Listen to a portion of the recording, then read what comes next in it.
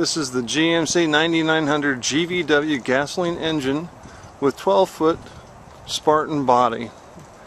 Wind fairing on the front, two rows of E-track, full width, double swing opening rear doors, pooch step bumper.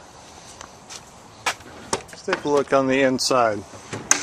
Again, two rows of E-track, splitting the body into thirds. The front wall is a 4 inch setback.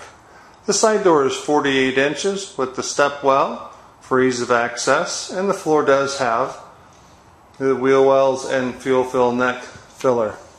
This is a ship lapped pine floor, 2 inch by 6 inch sections.